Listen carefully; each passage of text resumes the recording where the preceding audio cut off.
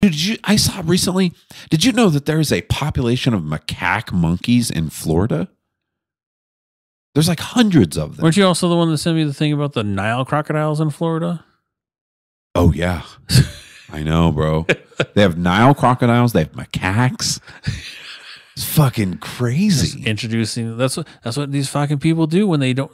That's why the with the, the Burmese pythons and everything like that Yeah, are overpopulated and taken over in Florida because of people like that, and they like reproduce at a crazy rate too. Yeah. See, that's the problem that they don't see coming sometimes. Yeah, things become super, or there's nothing to prey on them, yeah. and they like just eat everything, Everything. fucking wipe out all the species. Okay, so what we know between 2009 and 2014, a handful of Nile crocodiles, three or four individuals were confirmed by DNA to have been captured in South Florida near Miami in the Everglades National Park.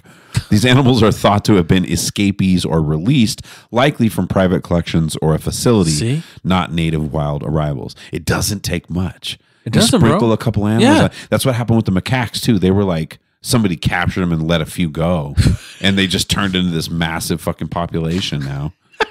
I bet you the the people that did that they're like, ah, it's not gonna do anything. Just just like a couple out there. Wait, did you let a boy and a girl out? Uh, Oh, I didn't think about that. yeah.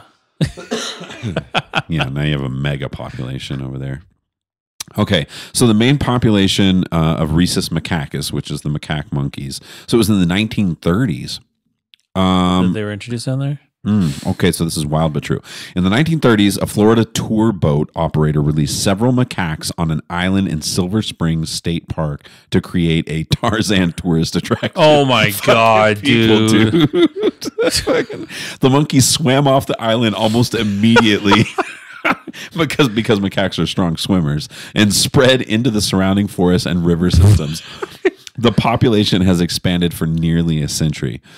Carry diseases. This is the biggest issue. Yeah, A significant portion, 25 to 30% of Florida macaques carry herpes B virus. Herpes B is, um, is mild in monkeys but can be fatal in humans if transmitted through bites, scratches, or contact with body, bodily oh fluids. god.